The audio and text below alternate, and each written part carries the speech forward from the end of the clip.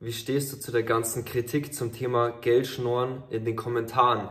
Also speziell auf die Kommentare bezogen ist es mir nicht egal. Also wenn das in den Kommentaren steht, dann mittlerweile lese ich mir das Ganze auch gar nicht mehr durch, weil ich bekomme sehr viele positive DMs und von den Kommentaren lassen sich halt sehr viele sehr einfach beeinflussen.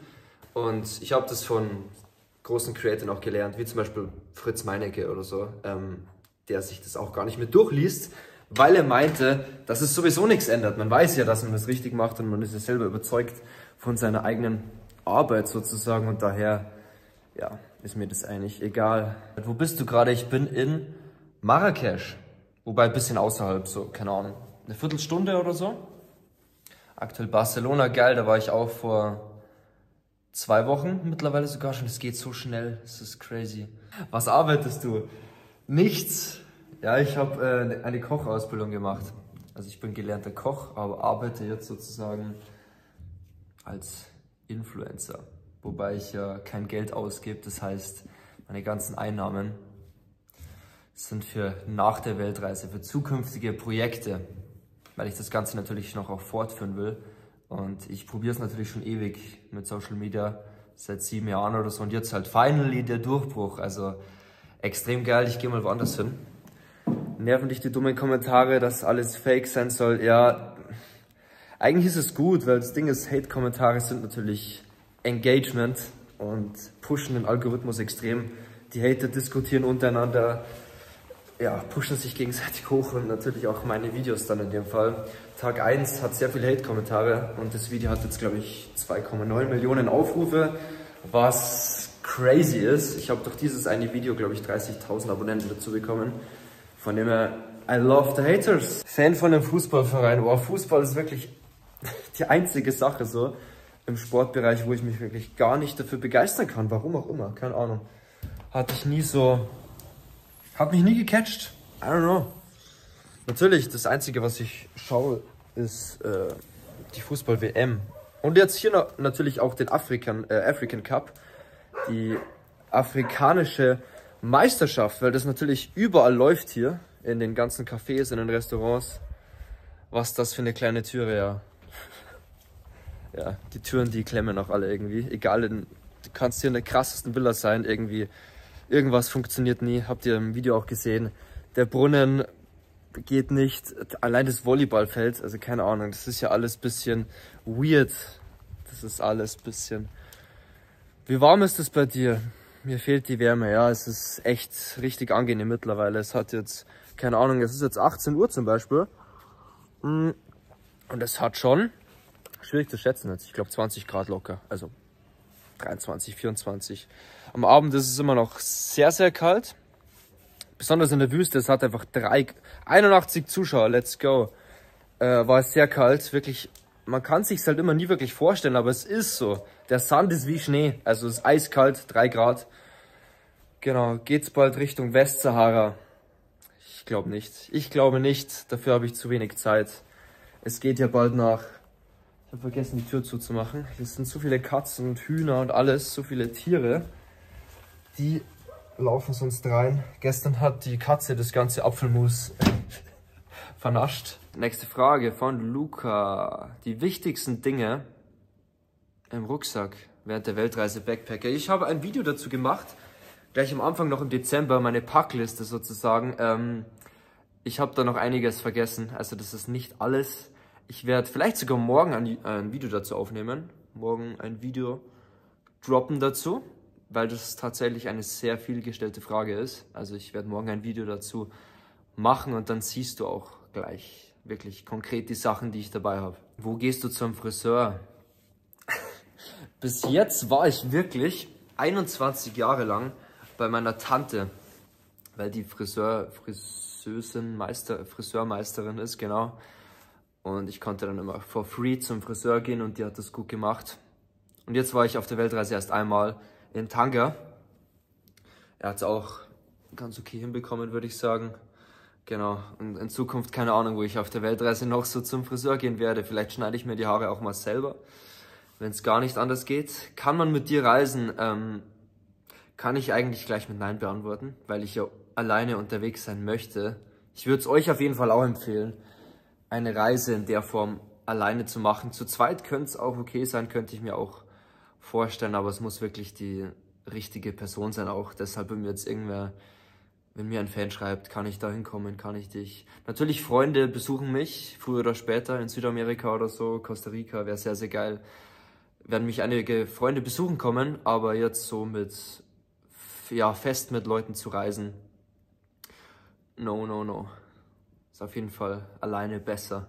Wann es nach Amerika geht, äh, meinst du jetzt USA oder generell den amerikanischen Kontinent? Weil nach Südamerika geht es ja im März wahrscheinlich schon. Ich muss jetzt mit Lukas nochmal telefonieren und abklären, wann wir konkret starten, an welchem Tag. Das stresst mich ein bisschen, dass wir da jetzt nicht so... Ich habe ihn schon ein paar Mal angerufen, er ist nicht rangegangen. Er ist in Abu Dhabi gerade. Mal schauen. Aber ja, very soon.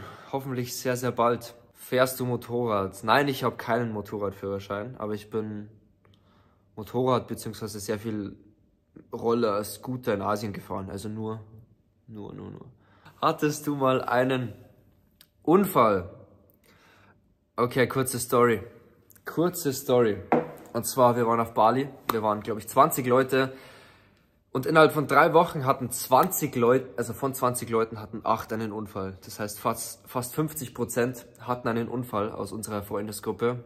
Und ich hatte den krassesten Unfall. Also wirklich, der war wirklich geisteskrank. Mit einer 300er Honda Vario, mit einem Roller hatte ich einen Rollerunfall auf Bali, ja hast du Angst vor der Überfahrt nach Südamerika in einem kleinen Boot? Ja, das Boot ist echt nicht groß. Man hat es leider nicht ganz so gut gesehen. Ich habe nur ein ganz kurzes Video gemacht. Es war relativ spontan, weil ich eben nie damit gerechnet hätte. Ich habe einfach nur mein Handy kurz rausgenommen. Dann Lukas war auch sehr, sehr busy gerade in dem Moment und ich habe einfach nur ein kurzes Proof-Video gemacht.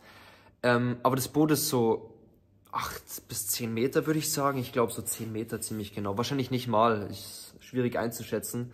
Das Boot ist auf jeden Fall nicht groß. Es ist keine große Segelyacht. Es ist kein Containerschiff wie zu Anfangs geplant. Was steht heute noch an? Heute tatsächlich nicht mehr so viel. Deshalb habe ich mir gedacht, ich mache jetzt einfach mal einen Livestream, weil ich mir das schon ewig vorgenommen habe. Die anderen sind wie gesagt gerade beim, beim Kamelreiten und beim Strandbuggy fahren in der Agafay-Wüste. Die ist hier sehr, sehr nah. Ich glaube 10 Minuten weg nur. Und genau, ich habe jetzt gerade Zeit, deshalb Livestreamen dann noch kurz kochen für die anderen, dann einfach geile Gespräche haben. Es ist halt so geil in diesem Team. Ich lerne total viel. Kann ich euch auf jeden Fall empfehlen, mal nach Thailand zu starten. Falls ihr noch nicht da wart, schaut es euch an. Es ist auch extrem empfehlenswert als erste Asienreise. Also Thailand ist, glaube ich, das ein guter Einstieg. Ich war als erstes, meine erste Asienerfahrung war Sri Lanka. Aber das ist schon fast ein bisschen zu heavy, würde ich sagen, weil Sri Lanka das ja, du wirst ein bisschen ins kalte Wasser geworfen, weil es touristisch noch nicht so erschlossen ist. Ähm, deshalb Thailand habe ich als angenehmer empfunden. Wenn ihr eine erste Asienerfahrung machen wollt, Thailand würde ich ja empfehlen, genau. Wie lange hast du vor, unterwegs zu sein? Das hat mich tough, also natürlich auch gefragt. Wie lange hast du vor, unterwegs zu sein? Die meistgestellte Frage, glaube ich, oder eine der meistgestelltesten. Ich weiß es nicht. I don't know. I don't know. Kommt drauf an. Wo es mir gefällt, bleibe ich. Von welcher Herausforderung oder Land hast du am meisten Respekt, Angst? Ich glaube jetzt Brasilien wird heavy. Ich habe mir noch gar nicht so Gedanken gemacht. Auch Marokko habe ich mir auch gedacht, dass es krass sein könnte, aber es ist eigentlich extrem easy. Bis auf Tanga, Casablanca auch gar nicht geil. Also die Städte hier sind es einfach nicht. Marrakesch ist okay, das ist ganz nice. Aber sonst, falls ihr noch äh, nach Marokko mal startet, meidet die Städte. Auch Casablanca hat 10 Millionen Einwohner. Das ist so das New York von Marokko. Ist nicht geil, ist halt eine Großstadt, industrialisiert. Also schaut euch die Dörfer an. Mersuga in der Sahara oder wie hieß das andere nochmal? Essaouira, Pferdereiten, Beach, Surfen, mega geil. Wirst du Internet haben auf der Überseereise sehr gute Frage. Ich weiß es nicht. Ich weiß es nicht. Vielleicht habe ich Starlink von Elon Musk. Hast du eine grobe Route? Ja, eine grobe Route habe ich natürlich schon. Also mein Ziel ist es, in den Westen zu starten. Also ganz kurz, hier ist Deutschland, ich starte in den Westen und komme vom Osten wieder heim. Das heißt einmal um die ganze Welt. That's the route. That's the root. Aber genauer kann ich es euch nicht sagen. Warst du früher Koch? Ja, genau, ich war Koch. Also ich habe eine Ausbildung gemacht und habe an Tag 1, wo ich fertig war, gekündigt. Das heißt, ich hatte meine Abschlussprüfung in Rosenheim, vielleicht kennen das einige von euch, und habe am Tag der Abschlussprüfung aufgehört. Kennst du die Jungs, die mit 50 Euro um die Welt reisen, haben gerade den Atlantik überquert? Genau, David O'Donnells. David Kurz kenne ich, ich bin auch in Kontakt mit ihm, also ich schreibe mit ihm. Wie alt bist du? I'm 21, 21. Welche SIM-Karte nutzt du, dass du in jedem Land überall Internet hast? Ja, ich hatte am Anfang noch eine internationale SIM-Karte. Ähm, genau. Der Vertrag ist dann ausgelaufen, weil ich in Deutschland alles gekündigt habe. Also ich habe mein Auto verkauft, meine Krankenversicherung bezahle ich nicht mehr, abgemeldet und so. Ähm, genau, das hat dann natürlich noch funktioniert. Jetzt habe ich halt ähm, WLAN. Ich hatte sogar in der Wüste, im Wüstencamp, einfach WLAN. Man muss dazu sagen, Internet kostet hier auch gar nichts. Also 2 Euro, glaube ich, für 10 Gigabyte oder so. Was ist das eigentlich für ein cooler Topf, wo die Marokko-Leute ihr Essen kochen? Ich zeige euch jetzt ganz kurz was. Das ist Taschin. Ähm, es ist wirklich geil. Also am Anfang habe ich es noch mehr gefeiert. Jetzt mittlerweile kann ich es eigentlich nicht mehr sehen, weil es es natürlich jeden Tag gibt. Das ist, glaube ich, genauso, wenn du in Italien lebst und jeden Tag Pizza isst, dann hängt es ja auch beim Hals raus irgendwann. Ich muss ganz kurz schauen, ob die das hier am Start haben. Ja, genau, hier ist Taschin. Das Gefäß, was Saki meinte, ist Taschin. So sieht das Ganze aus. Das ist aus Ton getöpfert. Das ist der Deckel und das kommt einfach so ins Feuer rein. Oben kommt dann Dampf raus oder so. Genau darin wird Essen zubereitet. Das ist meistens sind irgendwie Kartoffeln, Fleisch. Das wird alles wie ein Eintopf da reingeworfen im Endeffekt und dann ähm, so Tomaten noch drüber, die garen dann so ganz langsam durch. Und dann hast du eine richtig geile Soße und du dippst halt dann immer dieses Brot ein. Zum Beispiel wie hier. So sieht das Brot aus. Das ist so wie Fladenbrot. Extrem geil. Also ist echt gut. Das marokkanische Brot ist auch ein bisschen süß. Mm, genau, und dann sitzt du im Kreis und hast ein, wie sagt man, Gemeinschaftsgefühl. Also du isst zusammen. Das ist halt sehr verbündet, halt sehr Essen verbindet hier. Noch krasser als bei uns. Bekommst ja Geld über Social Media. Genau, natürlich bekomme ich mittlerweile Geld. Also Seit kurzem erst. Ich bin da mit 4000 Abonnenten gestartet. Vor, was ist heute für ein Tag? Tag 48 oder so. genau. Bin ich gestartet mit 4000 Abonnenten und jetzt sind es 113.000 oder so. Auf TikTok natürlich auch schon 13.000 oder so, genau. Ich bekomme Geld, aber das ist alles für danach, genau. Ich werde jetzt auf jeden Fall nichts ausgeben. Auf keinen Fall, weil das für mich einfach Cheaten wäre. Weil ich verdiene online Geld. Kochstream die Woche wäre auf jeden Fall extrem geil. Ich werde auch morgen, habe ich mir überlegt, hat mir meine Mom vorgeschlagen, werde ich ein Koch-Tutorial machen, so Minute oder so. Mal schauen. Welche Sprachen sprichst du alle? Ich spreche ähm, Deutsch und Englisch nur und Bayerisch. Ich spreche Deutsch und Englisch, also zwei Sprachen. Englisch sehr gut mittlerweile durchs Reisen extrem improved das Ganze, also sehr stark verbessert. Und Spanisch werde ich auch auf jeden Fall noch sehr krass vertiefen. Ich kann die Basics Spanisch, also ich lerne seit drei, vier Monaten auch mit Duolingo und so die Basics und werde dann Spanisch lernen. Mein Ziel ist es auf jeden Fall, fließend Spanisch zu sprechen, aber ich glaube, das wird sehr, sehr schnell gehen. Wenn du mit den Leuten einfach interactest und 24-7 das aufnimmst, wie ein Schwamm und mit den Leuten redest, dann werde ich das so schnell lernen, auf jeden Fall. Young Tola, das Lustige ist, ich kann Gar nicht segeln. 0,0. 0.0 kann ich segeln, gar nicht. Aber ich werde es lernen. Das ist natürlich die Feuertaufe jetzt dann, über den Atlantik zu segeln. ich hätte davor vielleicht segeln gehen sollen. Ja. Ich fange wegen dir diesen Sommer auch an, ohne Geld mit dem Trampen rumzukommen, nur in Europa. Haus 18 Boys, extrem geil. Sehr, sehr geil. Ich kann es dir auf jeden Fall empfehlen, genau. Erstmal eine Europareise zu machen, habe ich auch gemacht. Ich bin nach Helsinki getrampt, wo ich, wie, wie alt war ich da? 16, 17? Als Testreise sozusagen hat mir extrem viel geholfen, schon mal den Horizont zu erweitern, erstmal reinzukommen. Es ist extrem safe, besonders wenn du, ich würde dir vielleicht empfehlen, in den Norden zu starten, Dänemark, Schweden. Du kannst überall außen pennen, legal sogar. Eine typische deutsche Frage, wenn du keine Krankenversicherung mehr hast, was tust du, wenn du zum Beispiel krank wirst? oder ins Krankenhaus musst. Ich habe natürlich schon eine Krankenversicherung, aber ich bin halt nicht mehr in Deutschland krankenversichert wie die meisten. Ich habe eine deutsche Auslandskrankenversicherung abgeschlossen. Nee, es ist gar keine deutsche, es ist eine belgische, glaube ich. Eine, ich habe einfach eine Auslandskrankenversicherung abgeschlossen für zwei Jahre. Das habe ich einmalig bezahlt. Letztes Jahr, gleich im September, habe ich das bezahlt. Das hat 730 Euro gekostet oder so. Dann habe ich jetzt zwei Jahre meine Ruhe und kann einfach zwei Jahre lang reisen. Und wenn mir irgendwas passiert, ist es alles abgesichert. Also es ist wirklich jeder Scheiß. Also von Zahnschäden, Helikopter, Rücktransport, Fremdschäden. Also muss ich mir keine Gedanken machen. meine Eltern finden das aber gar nicht geil. Bei mir war es genauso. Aber du pusht einfach durch, du machst es. Deswegen muss ich warten, bis ich 18 bin. Ja, ich konnte es Gott sei Dank machen, bevor ich 18 bin. Meine Eltern waren da bisschen entspannter, aber mit 18 gibt es auf jeden Fall keine Entschuldigung mehr, würde ich so sagen, ja. Starte auf jeden Fall nach Frankreich, Spanien und Portugal. Auch sehr geil. Auch sehr, sehr geil. Spanien wird schwierig zu trampen, sage ich dir gleich schon mal. Aber ist okay. Du hast ja Zeit hoffentlich dann. Nach dem Abi wird wild, auf jeden Fall wird nach dem Abi wild. Das war unser, unser Standardspruch, unser Insider. Auf welches Land freust du dich am meisten? Ich glaube auf Indonesien.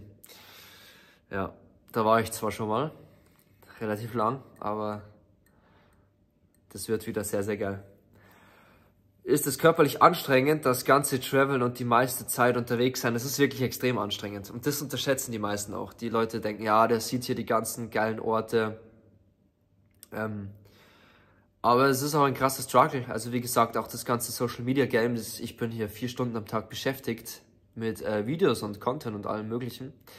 Und auch so sehr ich es liebe, im Zelt zu schlafen, es laugt einen schon aus. Es laugt einen wirklich aus. Deshalb umso geiler, dass ich jetzt hier Urlaub machen kann. Genau. Woher kommst du? Ich komme aus Deutschland logischerweise, in der Nähe von München. In der Nähe von München. Wenn jemand hier im Chat Bock hat, eine kleine Trampreise zu machen, ja. Ich weiß gar nicht, ob ich das euch empfehlen würde, aber ich glaube, zu zweit geht's noch. Zu zweit geht's noch. Ich habe auch eine Freundesgruppe, ähm, die haben das Ganze zu dritt gemacht. Die sind von Deutschland in den Nord, also an den Nordkap getrampt. An den nördlichsten Punkt Europas. Das sind auch, glaube ich, 3000 Kilometer oder so, wenn nicht sogar noch mehr. Und die haben halt schon echt lange gebraucht, weil ich meine, wie viele Leute haben drei Plätze im Auto frei? Die besten Chancen hast du, wenn du alleine bist. Und die Leute sind auch eher so, haben mehr Angst, wenn sie zwei Leute sehen, weil sie denken, ja, ich werde hier ausgeraubt von der Gruppe also wenn du alleine dastehst, dann denken sich die Leute vielleicht weniger. Aber ich will es euch nicht ausreden, macht's zu zweit auch geil. Also manchmal denke ich mir natürlich auch, zu zweit wäre geil. Wenn ich dann da stehe und irgendwie, ja, struggling bin, dann ist es zu zweit immer cooler. Tipps für Indonesien. Ja? Also ladet euch auf jeden Fall die GoCheck-App runter. Das Lifesaver. 120 Zuschauer, extrem geil, es geht noch hoch. Ladet euch die GoCheck-App runter oder Grab Könnt ihr überall hinfahren. Ich bin von Uluwatu nach U-Boot mit dem Roller-Taxi, also Grab ist, die meisten von euch kennen es vielleicht sogar, ist in Asien so eine Application, eine App, wo ihr ja, rumfahren könnt, euch Essen liefern lassen könnt. Also mit dieser App könnt ihr wirklich alles machen. Und die fahren euch zwei Stunden durch die Gegend und ihr zahlt im Endeffekt dann zwei Euro für zwei Stunden Taxifahrt. No joke, es ist nicht untertrieben. Und was ist noch ein Tipp? Hm, ja, ihr müsst euch dessen bewusst sein, dass halt wenn ihr jetzt nach Bali fahrt, dass schon viel los ist auf jeden Fall. Also Tourismus ist schon crazy. Der Verkehr ist krass, die Luft, Luftverschmutzung ist auch scheiße. Aber ich liebe Bali trotzdem. Also ich liebe es einfach. Schaut euch nicht nur Bali an. Genau, Nusa Penida, extrem geil. Nusa Penida war ich auch extrem geil tauchen. Und mein Tipp, fahrt nach Gili. Also Gili war, ist, ich glaube Gili ist der schönste Ort, wo ich jemals war. Fahrt nach Kili. Oder Lombok. Es gibt halt so viele Inseln, also die wenigsten wissen, dass Indonesien 16.000 Inseln hat. 16.000. Und 10.000 davon sind unbewohnt. Gili Trangawan beste. True. So, ja, wobei, Gili Air. Ich war auf Gili Air. Gili Air ist, ähm, hat mir noch besser gefallen. So, Honeymoon Vibe. Ist ein bisschen entspannter. Also spielst du ein Musikinstrument? Boah, ich würde so gerne, wenn ich mir ein Musikinstrument aussuchen könnte, wäre es Klavier, glaube ich. Mein Bruder spielt Klavier, extrem gut mittlerweile. Ähm, Aber ich spiele leider kein, wobei ich habe auch Trommel gespielt, Marschtrommel. bei uns im Dorf war ich im Trommlerverein. Sind wir bei den ganzen Zügen oder wie sagt man, Gaufest und so, so bayerische Kultur. Genau, und ich habe natürlich als Kind Blockflöte gespielt. Ich habe mich dran probiert. Ich war auch gut, glaube ich. Aber nein, nein, nein, nein. Ich mache schon äh, so viele Sachen. Da habe ich leider für ein Musikinstrument keine Nerven mehr. Bist du oft hungrig unterwegs? Ja, ich war jetzt mittlerweile schon echt oft hungrig. Ähm, ich hatte dann ab und zu so Riegel dabei. So Müsli-Riegel oder so, die mir dann halt Leute davor noch gegeben haben als Proviant oder so, keine Ahnung, 10 Thunfischdosen.